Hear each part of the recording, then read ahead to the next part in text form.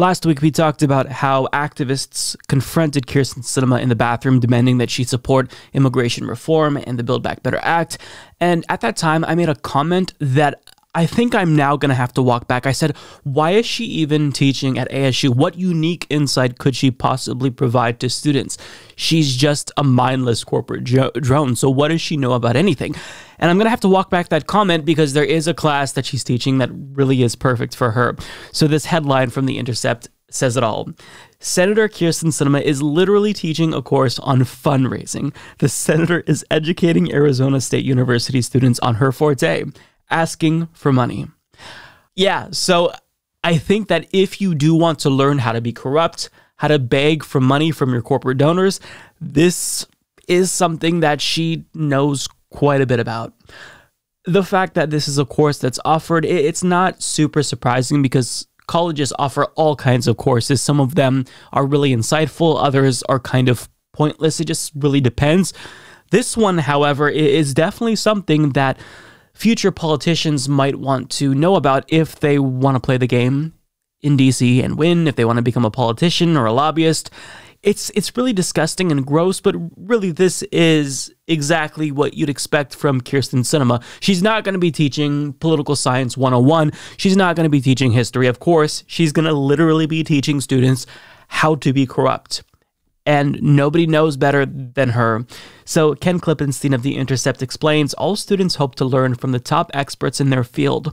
Graduate students at Arizona State University have an unusual opportunity this fall to do just that, where Senator Kyrsten Sinema is teaching a course on getting rich people to give you money. The course titled Developing Grants and Fundraising is one of two classes Sinema is teaching this fall at Arizona State University's School of Social Work. The syllabus, which was obtained by The Intercept, says students will learn diverse fundraising strategies for nonprofits as well as how to cultivate donors, including large individual donors, by leveraging resources like opportunistic fundraising, finding supporters for major fundraising events, and, well, asking for money. The outline identifies key course concepts such as corporate giving, political strategy, influence, and power, as well as more socially conscious terms like discrimination, oppression, and privilege. One of the required books is Fundraising for Social Change, ironic in light of Sinema's attempts to ensure things like corporate tax rates remain unchanged. A spokesperson for Kyrsten Sinema did not respond to a request for comment. Fundraising is a subject the Arizona senator knows a thing or two about, having raised eye popping sums of money from groups opposed opposed to President Joe Biden's Build Back Better agenda, Sinema has racked up some $920,000 in campaign contributions from said groups, according to an analysis by Accountable.us, a watchdog group that monitors corporate lobbying. Now, if you want to read the full syllabus, it's 10 pages long. I'll link to it in the description down below if you are watching this on YouTube, but if you are listening on uh, Spotify or Means TV, you can find this on the Intercepts website. They link to it in the article. But this really, I think it speaks to how broken our system is, where things like this are normalized. In a democratic society, things like this shouldn't have to be taught.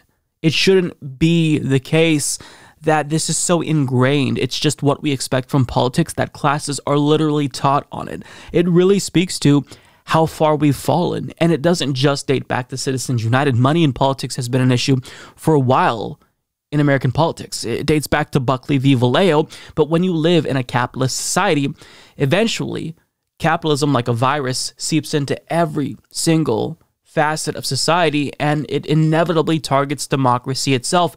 And that's really what we're seeing. We're seeing the commodification of democracy, the commodification of elections, to where you can't really be electorally successful unless you raise large sums of money. It's a business.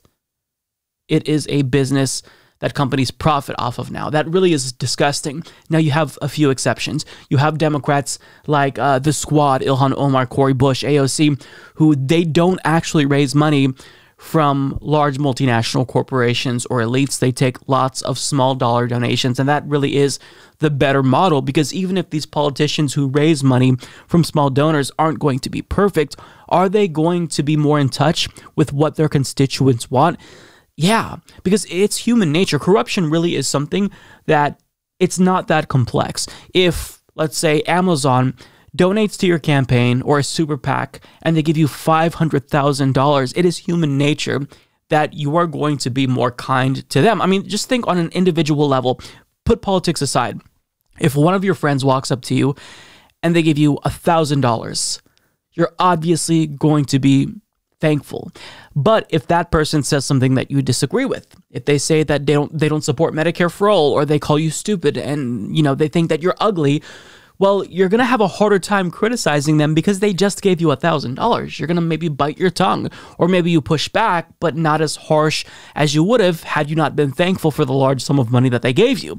So it's, it's psychological, it's a human thing to be corrupted by money. And so when you take that and you extrapolate it and you put it on a massive scale, like US politics, you see the aggregate effect that it has on our society, where politicians, they don't represent their constituents any longer. They represent their corporate donors. And Kyrsten Sinema is teaching a class on just this as if it's normal. The class isn't necessarily about the way that money in politics has corrupted our democratic institutions, it's how to participate in what is tantamount to legalized bribery. That's so gross, but this this is what we've come to expect from one of the most corrupt senators in the United States. And I can't even say that she, you know, it's, I think that it's a misrepresentation to say that she's one of the most corrupt. She's just more brazen about it than other senators, but many senators are corrupt. Most senators are corrupt, sadly. Just last week, we were talking about how John Hickenlooper was questioning Facebook about their profits if they changed their algorithm to not actually promote hatred. Now, come to find out, he has lots of money in stocks in, in Facebook. So, this is something that is ingrained in society. It's not just corruption from donors. There's conflicts of interest. Senators own stocks. They profit off of the companies that they're supposed to be regulating. And none of this is even controversial. It happens out in the open, and we just kind of, as a society, we come to expect it now. And over time, that erodes the fabric of democracy. It's antithetical to a representative democracy. And Kyrsten Sinema is trying to, rather than break up that, rather than speak out against it and the ways that it has helped to deteriorate democracy in the United States, she's teaching about it as, a, as if it's normal. Well, you know, this is just the system. This is what the system incentivizes, so I'm just teaching that.